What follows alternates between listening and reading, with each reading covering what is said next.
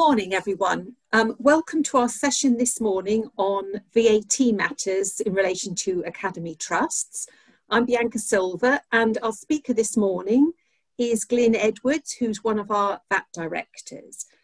Um, you probably can see on your screen um, a poll um, that we'd like you to complete if you can. Uh, it's just a one question: Is your academy registered for VAT? So um, thank you for those who have entered um, their answers. At the moment, we've got 71% who are registered for VAT and 29% who are not. So Glyn, I'll now hand over to you to start your presentation. Thanks, Bianca. That's interesting. I think that's um, that's indicative of, of the future of, of, academies as, as, as more and more academies are, are encouraged into larger MATs. Um, I think we'll see more and more of you having to cope with VAT registration. Um, now, today's um, presentation will be aimed at both those who are unregistered and registered for VAT. But the, for those of you who are unregistered, please do um, continue to think about that registration as I'm speaking, because my guess is at some point you are going to join that, um, that happy club. Um, just by way of introduction, so I'm, I'm Glyn. I joined um, MHA uh, just over five years ago, um, and at that point had no experience in academies. And the introduction to me to academies was quite um, an eye opener because academies are so different in terms of their treatment of VAT from what I was used to um, that I've had to learn quite a lot. One of the difficult things about advising academies is that HMRC's guidance on VAT for academies is tiny absolutely tiny. It runs to one page um, for all these different issues that we're going to talk about today. One page, and that hasn't been updated um, since I started looking at it.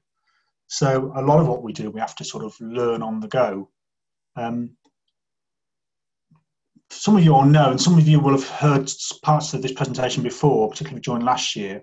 So to some extent, there'll be a, a refresher element. But within what we'll speak about today are, some new things, things that have cropped up with our clients um, this year, things that we've identified as specific risks. Um, so so I'll, I'll highlight those. So we're going to talk about a fundamental principle, the idea of business as opposed to non-business activities. What does that mean and why does it matter to academies? We'll be looking at why academies are sometimes obliged to register for VAT, as well as what happens with academies who are not obliged to register and how they deal with VAT. We'll look at how VAT recovery is calculated, both for registered and unregistered academies. And for registered academies, towards the end of today, uh, of our hour today, we'll be looking at um, specifics of partial exemption and, and, capital goods scheme. Be familiar to some of you, not to others, so that will be a, a useful introduction anticipate that we'll um, you know we'll, we'll, finish within the hour and um, questions are really welcome because and don't worry if you think they're simple because a lot of us will be new to this. Um, so please please ask away and it will, it will, it will make my job um, easier. So um, let's just talk about some general VAT concepts. So this is where I'd probably start off um, in my understanding of VAT before I came across academies so for those of you who worked in industry or an accountancy practice or something like that, this will probably be what you'd understand as being the norm for most for most businesses. And that is that a business, maybe a charity, for example, with business activities, can recover VAT, but only in respect of its taxable business activities. So, a charity, for example, which has a shop, makes sales which are liable to VAT, often at the zero rate, but nevertheless vatable sales, and therefore is entitled to recover VAT on the costs of running that shop, as opposed to the non-business activities of the charity. So where a charity performs its fundamental charitable purpose, um, perhaps for example, it might be um, the care of children for which it doesn't make a charge, a charity in that position would not be able to recover VAT in relation to the operation of that non-business activity. I, for that activity that it does not make a charge, it has no rights of VAT recovery. And furthermore than that, for those that do have business income, they don't have the right of VAT recovery where that business income is VAT exempt, and that will be part of our conversation for VAT registered academies later on today. And for that, my imaginary charity in this example, their general overheads will be subject to partial VAT recovery. So they'll be able to recover VAT to the extent of their taxable business activities, but not to the extent of their non-business activities. So that's the norm. That's the that's where I'd come from as an ordinary advisor to, to a charity. But let's look at academies, because academies are turn that completely on its head. And the reason um, for this piece of legislation was really to try and replicate the VAT recovery rights that local authorities have and had when they were the ordinary operator of, of schools. Under section 33B of the VAT Act, you can see it's headlined refunds of VAT to academies and specifically talks about refunds where VAT is being incurred on goods and services which are not for the purpose of any business carried on. So complete opposite to what I was just telling you about for an ordinary charity. Here we've got a refund mechanism in relation to your non-business activities, essentially your core activities of educating children.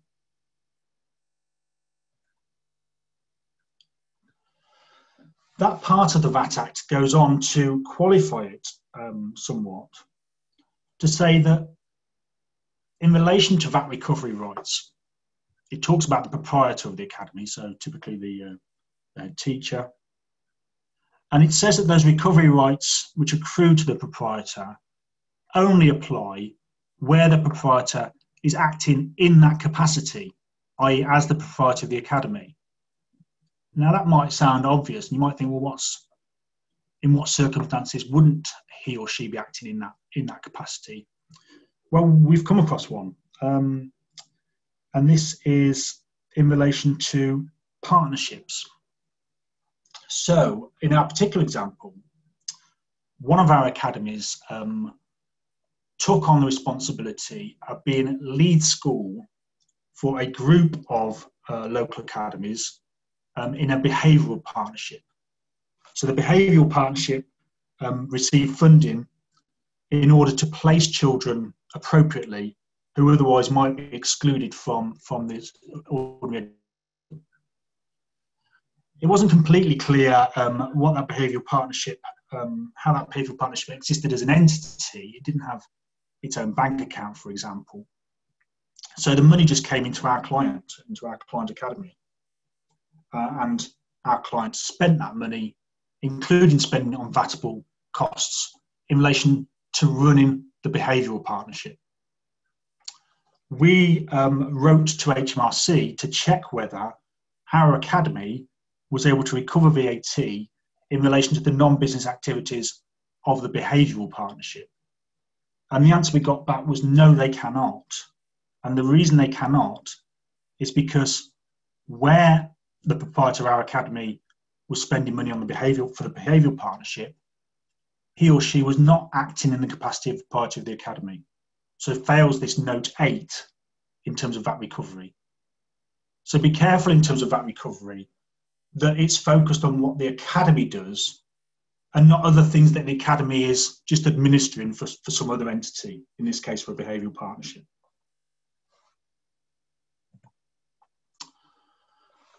Uh, in terms of the limits of section 33b and in terms of VAT deduction, it specifically excludes the right to VAT recovery in relation to anything that the academy does by way of business.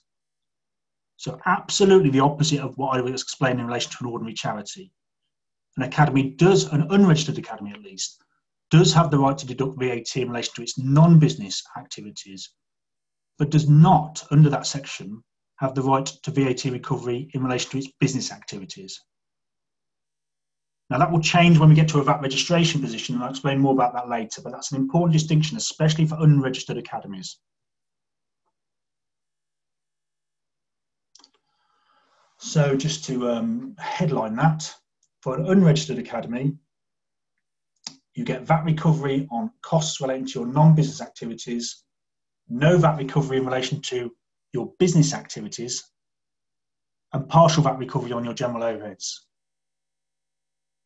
And by business activity, we're generally talking about something for which the Academy charges. By non-business activities, we're talking about things which the Academy does for free at point of use. And for most academies, the vast majority of what you do will be non-business. So in a decision tree, an unregistered academy incurs VAT on purchasing expenses. You um, need to allocate that VAT in three ways. Some of it will relate wholly to your non-business educational activity, and that will be fully recoverable. Some of it will relate to your wholly business activities. Um, and going down the left hand side of the slide there, you'll see that ends up as not claimable for an unregistered academy. A lot of your costs will actually be used for both. So if you think about um, your school buildings, and your school buildings are used for education, of course, but you also on occasion let out classrooms to, to local users and charge for that. Then the school buildings are mixed use. And we go straight down the centre of this slide to a mixed business non business use. And we get partial recovery. And our calculation of partial recovery requires some sort of method, some sort of mathematical method in order to, to split it between claimable and non claimable. And typically, what most academies will do in that situation will be to split those mixed vatable costs on the basis of income. So we'd look at our core grant funding income, for example, compare that to our total income, and our total income will include income from lettings. Divide one by the other, and we might get a VAT recovery rate very typically in excess of 98% for unregistered academies. So if that's sort of where you are with your calculations, then you're probably in the right area. And if you, to be honest, if you end up one or two percent different from that, um, it's not going to cause a great deal of difference in terms of that recovery. But hopefully, that's that's consistent with what you, um, as academies, see um, in the real world. It's certainly what we see when we are carrying out our audits.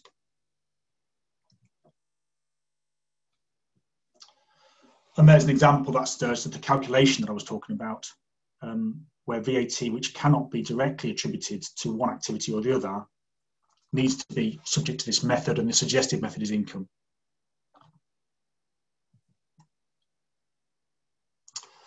That standard basis of calculation um, what we normally suggest is you do that calculation once a year at year end. So if you get a recovery rate of 98% based on your year end calculation, we suggest that you then apply that same percentage to the next 12 months calculations rather than do a calculation every single month. It's just excessive, really.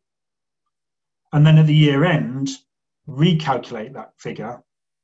And if the year end is fallen to 96%, then you make an adjustment for the previous 12 months could be up or down. So once a year calculation and apply that percentage to those non-attributable costs as we've just been uh, as we've just been showing. Key to this is accurate coding. So the starting point, as I was talking about earlier, was that we correctly allocate VAT on costs according to whether they're used wholly for a business activity, not reclaimable by under section 36, wholly to a non-business activity claimable or otherwise coded as mixed and then subject to to um, uh, that calculation. Like a um, VAT registered academy, unregistered academies are potentially subject to HMRC review. So HMRC could come to an unregistered academy at any time and saying, okay, you're putting all these claims in on your 128, um, we want to see justification for them.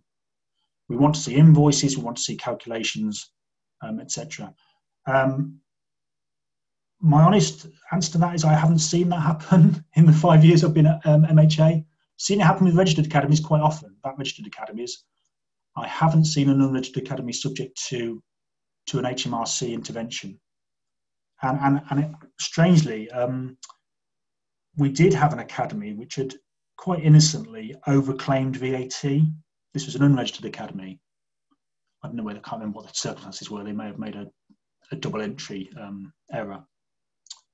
We wrote to HMRC and said, "Oh, we've overclaimed uh, this VAT. Uh, what do you want us to do about it?" And their answer was, "Well, we HMRC can't really find a mechanism to claw that back from you." So that was interesting. So unlike when you're VAT registered, HMRC have loads of powers in terms of assessments and interest and penalties. They don't seem convinced that they have those same powers in relation to unregistered academies. I mean, happily, you know, we, we, we're in a position where um, all of you are trying to get things right all the time. Um, my experience of people in academies is they are far more diligent and accurate than most of my business clients. I think that's a that's a fair comment. And just because HMRC may have limited powers, don't change your attitude to that, please. In order to make a claim, then, if you're not VAT registered, you'll usually make fill in com- complete a form 126. Um, usually people do that monthly, just to keep cash flow going. Doesn't have to be monthly, but it must be at least a month and it must run to a month end. Um, and you can claim costs up to four years after they're incurred. But of course, we don't we don't leave it that long.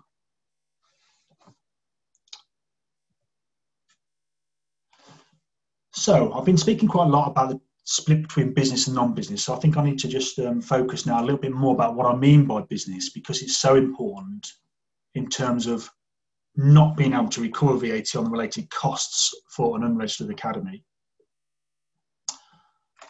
Fairly simple test here. If you charge, it's probably business. Now I'm going to I'm going to change that a little bit in a moment in terms of uh, closely related supplies to education. But generally, if you make a charge, you need to think about whether it's business. So it might, and I'll give you a, um, a list of some business activities in a moment. in terms of non-business income, when I talked about that calculation between uh, that VAT recovery calculation, examples of non-business income on this slide, core funding is going to be the biggest one. You might also be lucky enough to get donations from parents, gifts, etc. All of that contributes and funds your non-business activities, and I'd be comfortable putting all of that on the top line of that equation. But also, you'll note I'm adding there things that are charged for but are closely related to the education that you provide. And in certain circumstances, they are also classed as non business. So, what do we mean by closely related? We mean things that are absolutely necessary for delivery of education, directly related to delivery of education, and whilst there may be a charge made to uh, students and their parents, that charge is no more than cost. So you're not seeking to make any surplus on that. You're just trying to recover the costs of that essential equipment and services that you need to spend to deliver education. Um, interesting ones here. Catering, yes, non business when charged, including if you're charging duty staff but not if you're charging other staff. So staff, if staff members choose to use the school canteen and are charged for using the school canteen, then that is a business activity because it's not closely related. It's not necessary for delivery of education. But catering for duty staff and catering for children is closely related. You'll see that um, some of the tools of the classroom uh, are listed here. So if you make charges for calculators, stationery, um, rulers, that sort of thing, that can all be classed as non-business income, even though you've made a charge for it. I've put tablets on there, um, laptops, that sort of thing, because my assumption was that everybody would accept that they are necessary tools and essential. And therefore, if you were charging parents for them at or below cost, that HMRC would accept they are closely related and therefore non business. However, we found some guidance in relation to local authorities which says the opposite. And that guidance says that the charge for laptops is not considered essential to education. It's not a closely related item and therefore would fall to be a business supply. So to be business supply, you would be would be prevented as an unregistered academy from reclaiming VAT on the cost. And furthermore, you would treat the value as part of your VATable turnover. So it would count towards your turnover threshold. And if you were VAT registered, it would become a VATable sale. Very, very strange. Um, that guidance, I think, was probably written 10 or more years ago. That guidance did not change despite COVID. Um, and during COVID, um, use of technology clearly became absolutely essential to the delivery of education. So we're pretty sure that guidance is wrong. We have, through the um, ATT, which is an accounting um, professional body, we have raised this with HMRC saying this, this is surely wrong and surely your policy has changed on that. We haven't yet got a response. Um, my absolute feeling on that is that laptops are essential. And if you're charging at or below cost, you should treat that as non business. But bear in mind there is some risk there because that contradicts what HMRC publicly say in relation to local authority schools. Um, breakfast and after school clubs which you might make a charge for. Again, yes, essential to education, yes, closely related, and yes, non business. Um, we might get a different answer in relation to summer, summer camps. Um, there's been a couple of cases in relation to summer camps. Um, one was called Planet Sport, and one, if I recall, was called RSR. Planet Sport was a summer camp um, focusing on sport.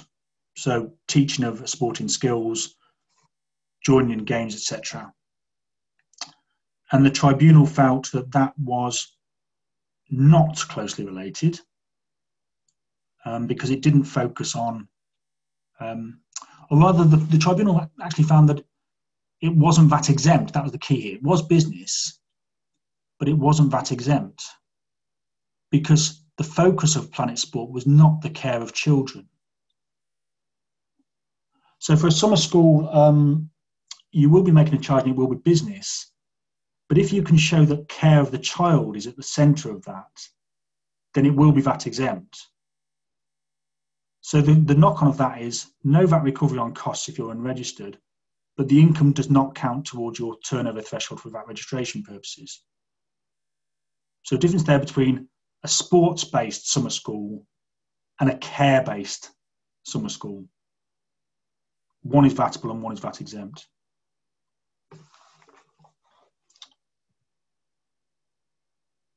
Okay, not usually classed as closely related. And bear in mind, if these are not classed as closely related, the income from it is treated as business income.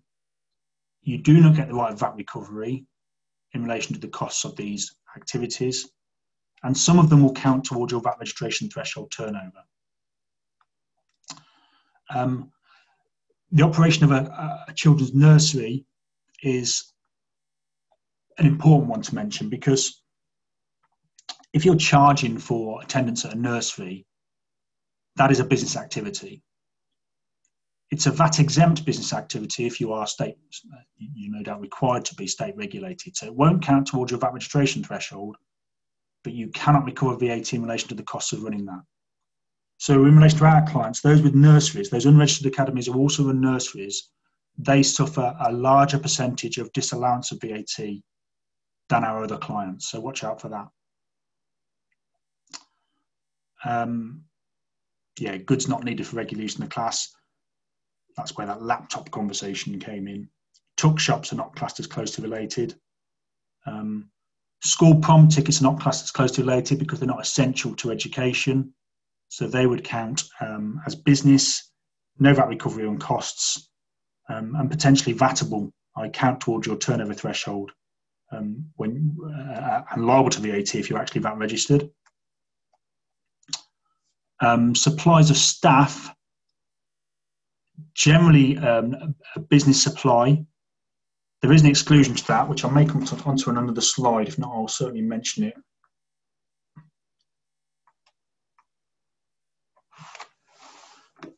Um, so all the, take all these things into account when you're doing your calculation and understand which ones are VATable. So tuck shops, for example, VATable, school prom tickets VATable, um, physical goods provided at or above cost price VATable. They all count towards our £85,000 VAT registration threshold. Glyn, um, yes. it's Bianca. Can I just ask um, one question that's been posed? um, and it might have been on your previous slide, is that did you mention school trips and the VAT position on school trips? Yeah, so school trips do count as closely related to education, and therefore, provided they're charged at or below cost, that income is treated as non-business. The unregistered account. Sorry. Yes, and so and so if a school um, in their charge to the parents, they have to obviously, let's say, ha- hire a coach. Um, so they take that cost into the um, calculation of the cost um, that they then charge on to the parent. Yeah, so hire a coach, um, tickets for entry, and I think providing you um, are reasonable about the way in which you calculate cost, then HMRC are not going to challenge you and say, "Oh, you've, you've, you seem to have made a profit here. Um, if you aim to make a profit, you, you, specifically go out and say, oh, school trips are a good way of raising extra funds, then it couldn't be closely related. You would fail that non business test. But that's not my experience of schools. That's not what schools do. Thank you. Thank you. Yeah, so I was going to mention staff. I, I know I'd got a slide about this. So ordinarily a supply of staff to some other organisation would be liable to VAT. It would be business and it'd be liable to VAT.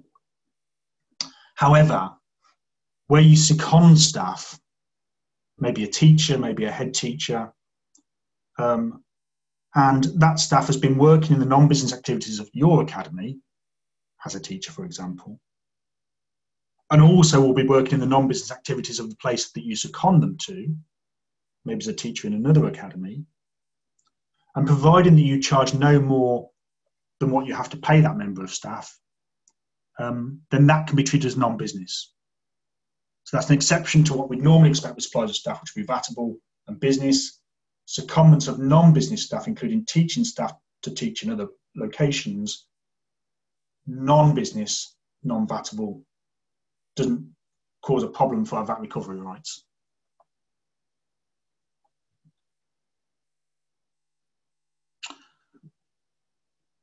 So, sort of distinguish there between business and non-business activities. Within business now, we need to be, make sure we understand the difference between things that are VATable because they count towards your £85,000 threshold and things which are exempt, which do not count towards the threshold. Under the health and welfare heading, um, that's where exemption applies for um, nurseries because that comes to care and protection of young children which when provided by a charity or provided by a state regulated organisation is VAT exempt. Business but doesn't count towards the threshold. Certain sporting supplies are exempt, um, but I'm going to talk more about that because that's quite niche. The rental of land is VAT exempt. So if you rent out classrooms, um, that's exempt. It is business but doesn't count towards that £85,000 threshold. Outside of those headings, most of what you would charge for that is business would be VATable and would count towards the £85,000 threshold. Um, some exceptions to the land exemption, sport and parking. Parking's an easy one. If you charge anybody to park in your school, that is VATable income. It counts towards your 85,000 threshold. Once you're VAT registered, you need to account for VAT on it. Sport's a bit more complicated, so I'm going to deal more with that. I think this will be familiar to lots of you, um, but it still does cause quite a lot of questions and quite a lot of challenges actually from, from users of, of, of um, school facilities. The letting of land for sport or recreation, such as on a dance, for example, um, is vatable. It counts towards your 85,000 threshold. If you are VAT registered, you need to account for VAT on that income, except for these two things on this slide. One is, and this is unusual, we don't see this very often in academies, if you were to let, um, I don't know, a 3G pitch or something for a whole weekend, so in a period exceeding 24 hours, that by default is VAT exempt, doesn't count towards threshold. More common is this idea if you enter into a series of lets with a user of the type described underlined there, subject to the conditions on this slide, those series of lets can be VAT exempt. So that overrides the standard rating, it becomes VAT exempt. You'll note, however, that is limited in terms of who can qualify for that exemption. It's only exempt if the hirer is another school, a club, an association, or a local league. That exemption does not apply, cannot apply to 10 or more lets if the person who hires it is some sort of commercial user. Um, the most common example I've come across recently is um, swimming instructors. So a swimming instructor might come along and say, well, you've got a pool. Um, I've got a business teaching children how to swim. I'd like to hire your pool once a week. Um, and I'll enter into a longer term agreement to say, um, I'm going to I'm going to rent it for the whole term, same time every week. I'm willing to pay for it in advance, or commit to pay for in advance at least.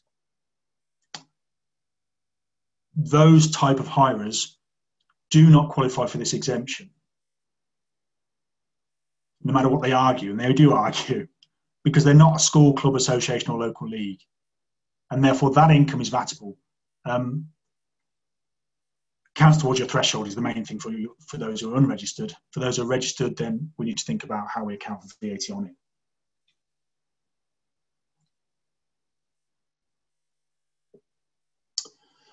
This is another risk area that we've come across. Sorry, Bianca, sorry. Uh, one one question that's been posed just before you move off from that. Um, a question about does the exclusive use only only apply to the series of lets condition, or also to the continuous period condition? Uh, both.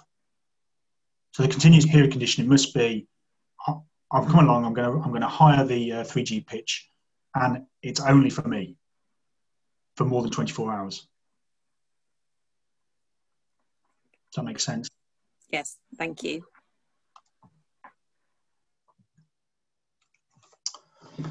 this is um, this particular situation we've come across as a risk.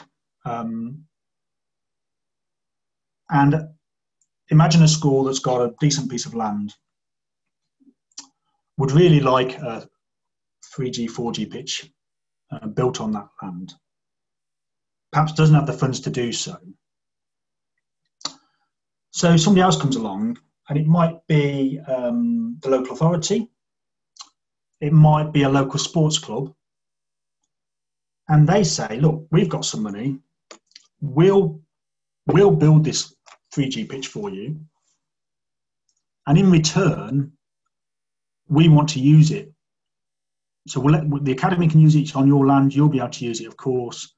But we, the, piece, the person who's paid for it to be built, we also want to use it. And we'll agree with the academy what hours we can use it as opposed to when the academy can use it. That is classic barter that is an agreement under which one person does something for another in return for something else. No cash changes hands, and because no cash changes hands, VAT sometimes gets forgotten. And then we could be into all sorts of difficulties. Because what needs to happen in this example is that both the academy and the um, sports club partner in my example need to put a value on those bartered services. So the construction work might be worth a million pound. And if the partner is there willing to spend that money in return for shared use, then the value of the shared use is also a million pound. Because if no cash changes hands, that must be the value the parties put to it. The construction work carried out by that sports partner is VATable. They should raise an invoice to the Academy plus VAT for that work. And then the Academy needs to consider what the treatment of the shared use is. And to consider the treatment of the shared use, we would need to go back to our previous slide and say, well, does it does that shared use meet these conditions, any of these conditions, in which case the shared use charge might be VAT exempt. And then we've got a mismatch between VATable construction work and exempt charge for use. Now, if we identify this before it happens, then we can deal with it fair, we can usually deal with it because we can say actually there's ways in which we can make sure the academy charges charge for shared use is vatable. We can then ensure the academy gets full VAT recovery on the construction work invoice. Post event, if this has been done without um, taking advice, well, it takes a bit of unpicking. And apart from anything else, this could very easily and immediately tip an academy that's unregistered into being liable to be VAT registered. So watch out for those sort of transactions where you agree to do something for somebody in return for them doing something for you. No cash changes hands, and therefore nobody thinks about VAT.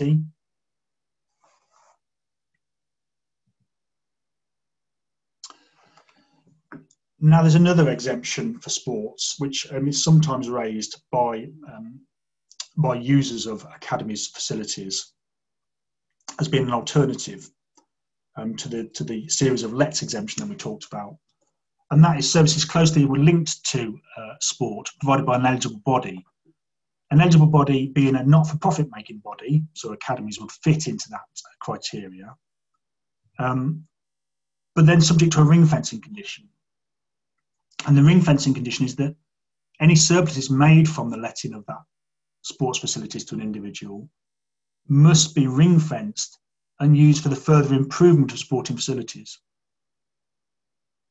or for the purposes of another, a different non-profit making body. So if you let out sporting facilities to an individual swimming teacher, in my example, and you use those funds just in the general funds of the academy, then you don't meet the test of this exemption because you've not ring fenced. I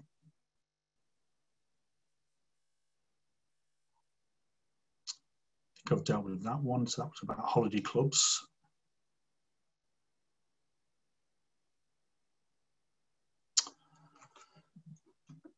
Now let's move on a little bit to um, towards VAT registration.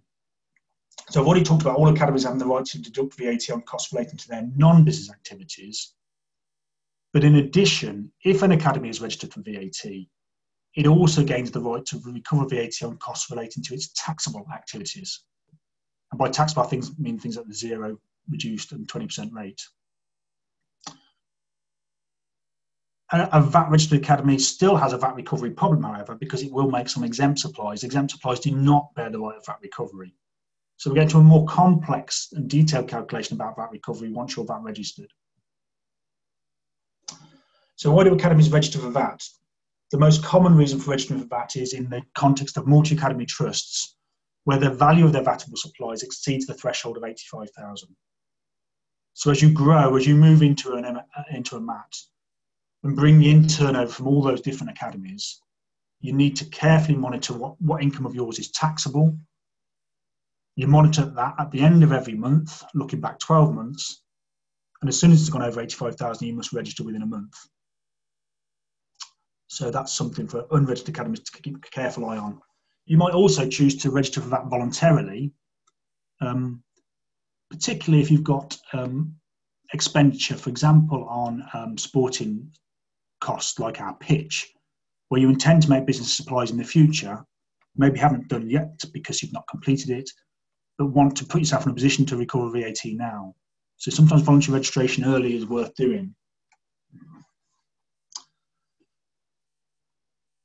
So additional VAT recovery applies if you're VAT registered because you can now start to recover VAT in relation to your business taxable activities as well as your non-business activities. Disadvantages of VAT registration, there's more compliance obligations. Those obligations are much more stringently um, applied by HMRC. You're likely to get VAT visits. You need to keep proper VAT returns. There are penalties when you get things wrong. And very important to mention making VAT digital. Making VAT digital requires you to submit VAT returns digitally, so electronically directly to HMRC. It's not, it's not a paper form, you can't fill it in manually on the computer. It has to be transmitted to HMRC. And in addition, your records, once you're VAT registered, must have digital links. So that means that the data in your software, in your accounting software, must flow through from the point of entry all the way through to the VAT return and to VAT return submission without further intervention. So you can't, you, are not supposed to take data from one system and then retype it, for example. That, that absolutely isn't allowed. The data enters the system, flows through the system, through the ledgers, ends up in the VAT return, the VAT, press a button, the VAT return gets submitted. That's what making tax digital is all about. Um, you may use spreadsheets as part of that system. Um, but if you do use spreadsheets, what you cannot do and must not do is cut and paste. Cut and, and you must not retype and you must not cut and paste. If you're using spreadsheets, cells must be digitally linked to the source data. And you'll see from this that there are penalties for failing to apply those rules, including a daily penalty for failing to have digital links. This is quite new. This is, this is published at the end of May. Um, and the, also, the other thing HMRC has said is you must use checking functions within your software. So if your software allows you to check the accuracy of your VAT calculations, HMRC say you must use those functions. You must evidence that you've used them. So management reporting, for example.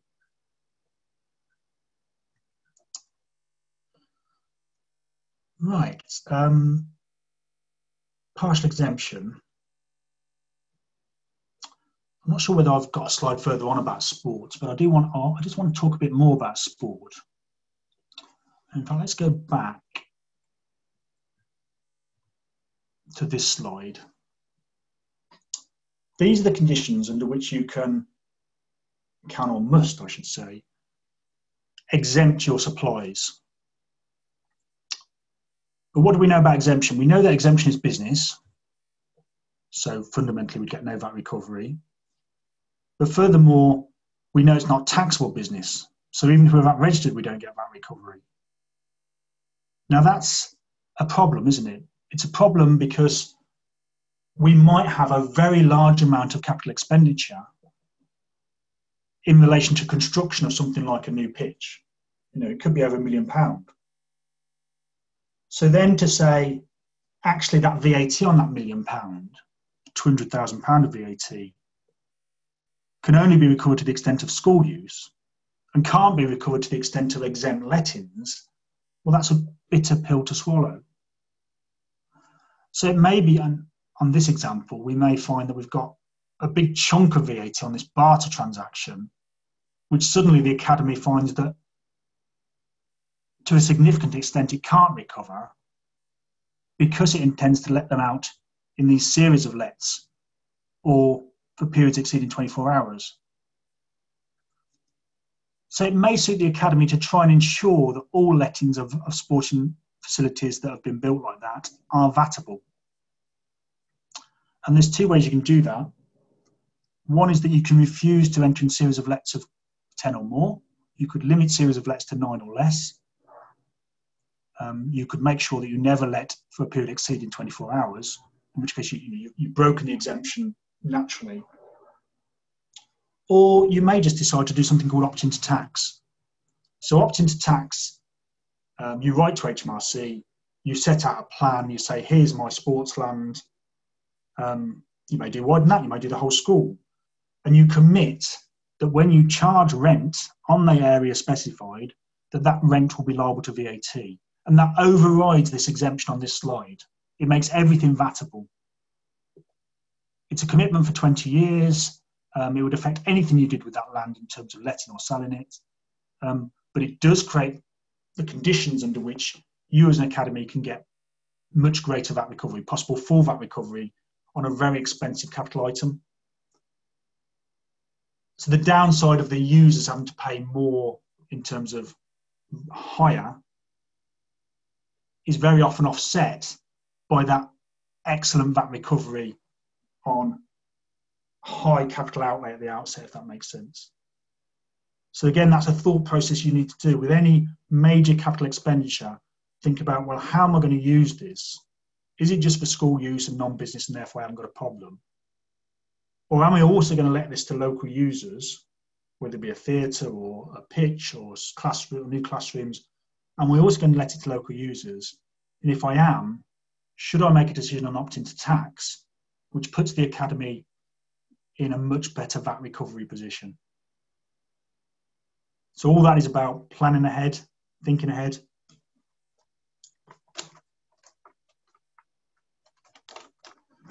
Um, time's getting away with us, getting away from us, of course. Um, I want to just one other thing I want to mention. Sorry, Glyn, yeah. Glyn, sorry to interrupt again. You've got the slide up. Can I just ask um, a question that on the slide that you've got up?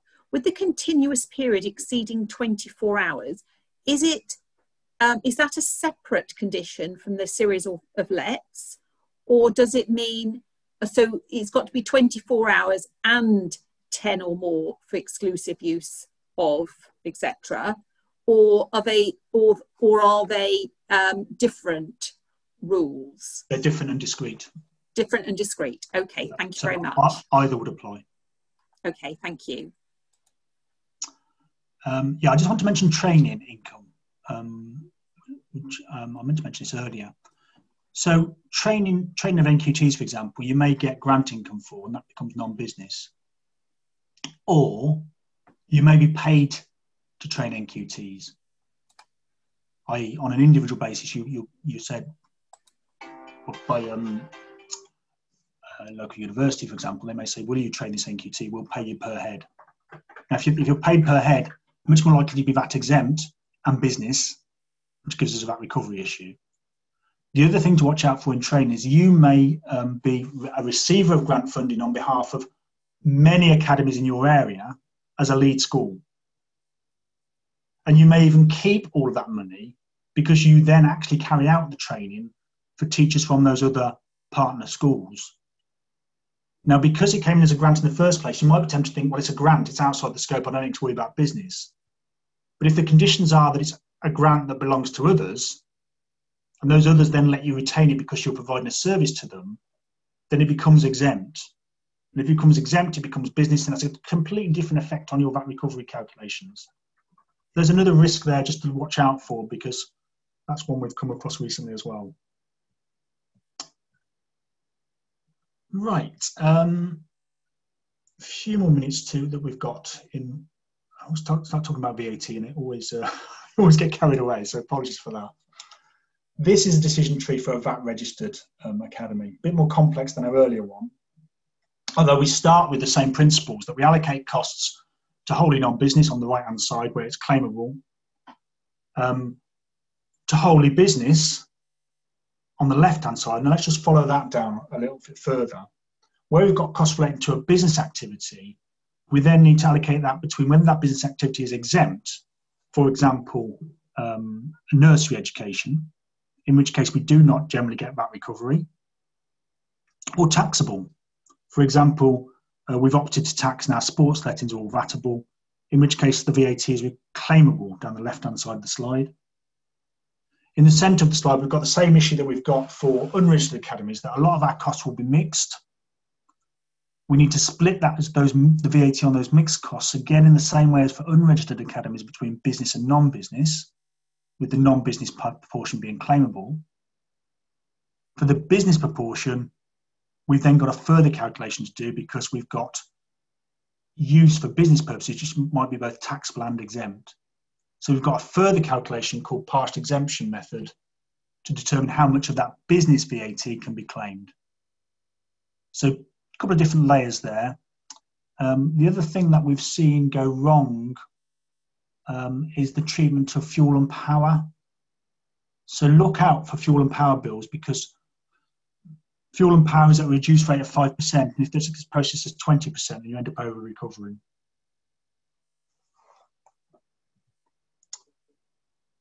Unlike uh, the business non business split, where the, you've got some flexibility in the method that you use for calculation, once you're VAT registered and you get into the partial exemption calculation, there is something called a standard method. Now, the standard method is the default method you must use unless you get agreement from HMRC. Happily, the standard method is based on income. So we'll have two income-based calculations in effect. Our first income-based calculation split between business and non-business, my 98% recovery in my earlier example. And our partial exemption method just looks at business income and says what percentage of that business income is taxable, what percentage is exempt. That's our split of that part of the decision tree. So although the decision tree looks complicated, actually break it down into its component elements, not too bad.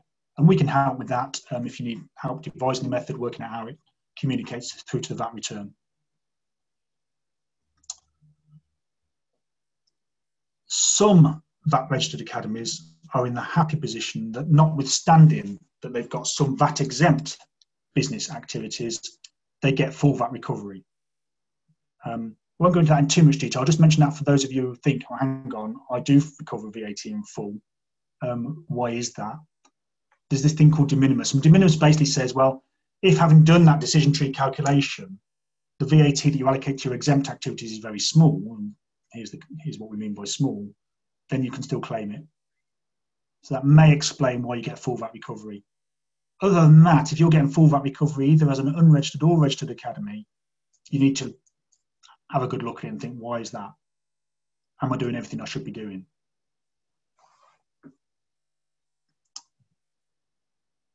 Skip through these. Um,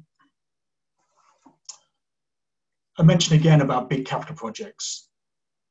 There are some reliefs available for charities um, constructing a new build property. So the, the reliefs don't apply if you're constructing an extension. But for a new build standalone property that's not an annex or an extension or an alteration, there's the potential for zero rating. So the builder wouldn't charge you VAT, subject to you giving the builder a certificate that says we are a charity and we intend to use this new building solely for non-business purposes.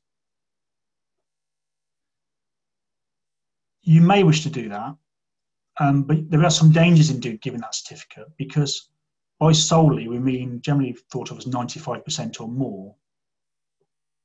And it sort of limits your ability in the way that you use that new building or that new capital item. Um, because it limits your the ability for you to let it out. Because if you commit to saying this is solely non-business, solely school use, and then two or three years down the line, you think, you know what, we can make some money from this property. We could start to let it out to local people who are interested well, you may find then that you have to repay some of the VAT that you saved on the zero rating. So actually, sometimes it might be better on a new build, and we've even had this on a complete new build school. So the school was demolished, built at the other the other side of the um, of the land plot, and potentially could have been zero rated. But our advice to that particular academy was, don't issue the certificate. Pay VAT to the builder, claim it back according to your method, because then you, you're not bound to always use it for non-business purposes. You've got flexibility in future use to let out to the local community uh, as and when. So any, again, I suppose the, the, the, overriding message for that is for any major capital project, take advice. One final thing I want to say, um, Bianca, before we, we run out of time, is in relation to large capital projects, there are further adjustments that are required. So where you incur VAT on a cost that exceeds £250,000, we get our initial VAT recovery in the way we've been describing through our decision trees. That initial recovery is then subject to adjustment over 10 years. That's called the capital goods scheme. So if you have any assets like that, where you spend more than £250,000 plus VAT on it, you need to be applying capital goods scheme adjustments to it once a year. Again, we can help with that. Do seek advice. So I'm just about run out of time, unfortunately. Um, Bianca, is there any more questions that we should tackle now?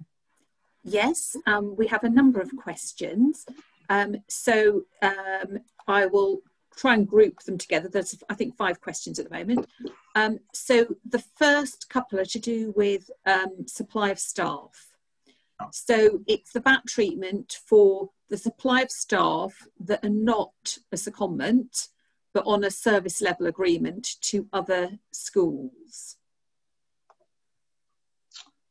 Yes, didn't have to, wouldn't have to be a secondment. Um, I think secondment was an example. Providing that, that those staff members were engaged in the non-business activities of the lending academy and will be involved in the non-business activities of the borrowing academy, that would be non-business outside the scope of VAT. Okay, thank you. Um, and the another um, staff related one is about um, from a, a MAT that's registered for VAT. They have a team of PE specialists that provide PE and school sports services to other academies. Should they be charging VAT on this supply of staff? Or so the services, the sports services to other academies? Okay, so it, it, would be a supply of staff if they came under the direction and control of the borrowing academy, um, and therefore subject to the rules we've just been discussing. If they don't come under the direction and control of the borrowing academy, so we just go in to provide sports lessons, then that would be business but that exempt. So VAT exempt because it's education and we're, and we're an eligible body but it's not education funded directly by grants, it's education funded by payment. Okay, um, thank you. Um, there was a question about um, capital funding of projects in excess of 250,000 um, through, you know, CIF monies, condition improvement funding. Um, is, is the position different because it's being um, funded via condition improvement funding? I, I, I, expect the answer to be no, it's not. It's, it's about the value you're going to spend on the projects, isn't it? Not how the cost is being met. You're absolutely right, Bianca. It doesn't matter where the money came from. It's does it does the cost that you're incurring in the construction exceed 250,000? Yes or no? And then in terms of that recovery, it depends on how you're going to use uh, the, the, the, building or the or, or the capital item that you're creating. Then there was a question about um, the you know VAT recovery, um, because in your example you mentioned that typically um, an academy trust might be able to recover you know 98% or whatever when they've done the calculation. Mm-hmm. So there was a question that said um, if you're going to um, you know why wouldn't you claim all the input VAT if you are um, incurring all the costs regardless of letting I, I suppose I'm not that person, but I assume it's the the 98% is because you're using that facility, whatever it is, classroom or whatever. Yes, you're using it, but you're also if you're letting it out, you've got to restrict your input VAT recovery. Yeah, yeah, I can see the logic of the question. I think the question saying, well, I would have spent this money anyway. You know, yes, because I'm, I'm an academy and I need to spend this money. Um, but unfortunately, if you do if you do make exempt lettings uh, or, or business lettings, then them's the rules you, you just you just end up with a restriction. Yeah. Um, then there's a, a, a question about um, laptop schemes. Um, so if a laptops are um, provided um, by the school, yeah. um, the school has got um, a, a, a, lease and they give the laptops to the to the children, but the parents actually pay um, via a learning scheme to a third party. Um, and the third party then transfers this income to the school, and the school uses that income to pay for leasing of their laptops. So, can the school claim the VAT on those operating lease payments. And this goes this goes to this example I was given that we found in the local authority guidance, which specifically said that laptops are not closely related, and therefore you couldn't get VAT recovery uh, as an unregistered academy because it's not treated as non-business. Um, and if you're a registered academy, I suppose they'd say, well, you could recover the VAT, but you'd have to account for VAT on the income. Now, all of that to me sounds wrong that that guidance to the local authorities, being old and pre-COVID, just doesn't make any sense. The, the, the laptop schemes, it seems to me self-evident that they are closely related. And in this example you've given me, I think we're saying the school isn't making a profit out of out of the, uh, uh, the scheme. Um, so my view is that that should be treated as non-business, and the school should get VAT recovery on the costs. But you've just got to bear in mind that that's my view and not HMRC's published view, which we're trying to um, winkle out of HMRC through the ATT. Hmm. Yes, thank you. And then a few more questions. Um, is VAT one school has got um, a hall or theatre. They're not they're not that registered, um, but they're going to buy some more equipment um, for use in this hall or theatre, whatever it may be. Um, but that theatre or hall is rented out sometimes to third parties. And presumably that means when they're going to buy the equipment for that particular theatre or hall, do they only can they only partially recover the VAT on those purchases of equipment? Yes, that's right. As an unregistered academy, they've got some business use of that equipment, which they need to recognise in that decision tree calculation. Now that calculation, I, I know I spoke at a high level of saying when it's 98% because that's sort of split of income. Um, it may be that you might think, well, actually 98% is excessive in that example because maybe we ought to be a little bit more forensic and say, how is that equipment going to be used? Um, perhaps it's used 75% of the time by the school and 25% of the time by people who are hiring the theatre. So you might do a more nuanced calculation, but the principle is there must be partial restriction if you're unregistered. Thank you. And if um, an academy trust um, has a breakfast club, um, the question was, is it the income, the turnover that's used in deciding whether the threshold is going to be met or the profit? Because obviously they, they make a charge, they incur some costs, so they make a little bit of money. Yes, I think I said um, breakfast clubs were closely related. Yes, if I think if it's if it's to their own children, you know, that coming. Yeah, if it's to their own children, yeah. then it doesn't count towards any sort of threshold. Um, it's classed as non-business, even though there's some income accruing to it. So, happy days all round. Really, we get that recovery, we don't need to count it towards the threshold. Yeah, thank you.